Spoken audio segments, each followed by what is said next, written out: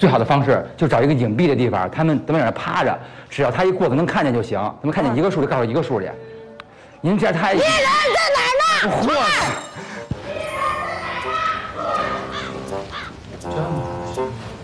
嚯！哎呦，这这女的，你让我们看一个数字行吗？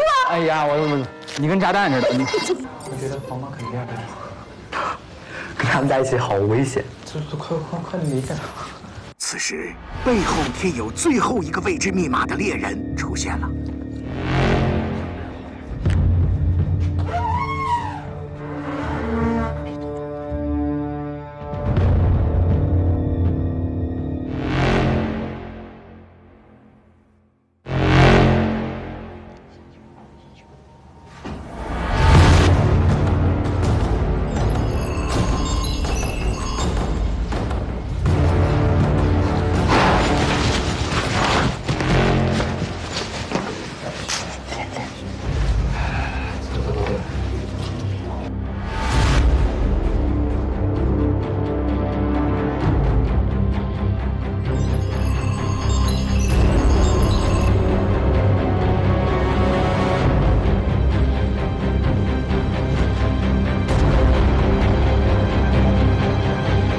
猎人走远，王俊凯错失看清密码的时机，获取信息失败。不能再坐以待毙了，走，做任务。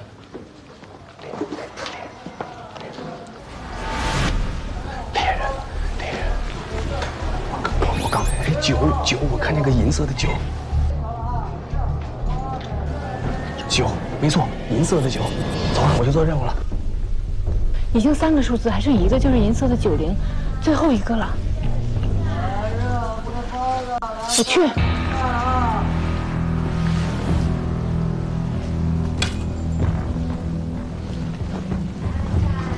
我去，我去，我去，我去。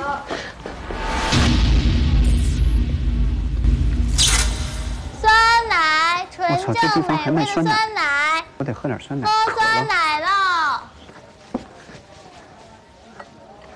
我还真渴了。您尝一口，我们的酸奶你杯子干净不？我直接拿瓶儿喝。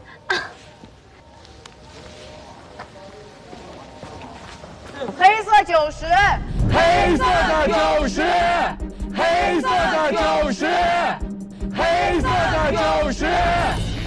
我知道了，完成任务去。黑色九十，九十，黑色九十，快快快，黑色九十。银色，银色九十，管他呢，什么色都行。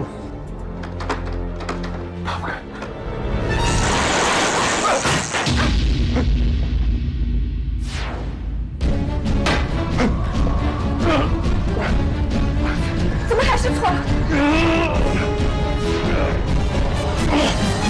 师傅这老贼，果然滴水不漏。这怎么回事？要找到正确的密码，必须去他房中一探究竟。这位兄台，那请公子这位兄台，去知府房间帮我们找一下密码，你救我二人出去，知府的房间这不是密码吗？不对呀、也许顺序有错。密码失效，保险箱无法打开。白泽博士给加速队员下达了补充信息。来来来来，哎呦喂！最后一个数字银色的九零已经被找到，但是白墨飞跟陆莹莹输入的顺序错误，被困在密室。四十三分钟之前找到正确的密码顺序，并告知白墨飞、陆莹莹，依然有机会获得胜利币翻倍的密器。若提供的顺序信息错误，其位置将会通报给猎人。